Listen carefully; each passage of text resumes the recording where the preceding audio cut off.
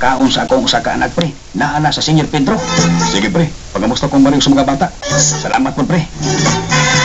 Walang kasama,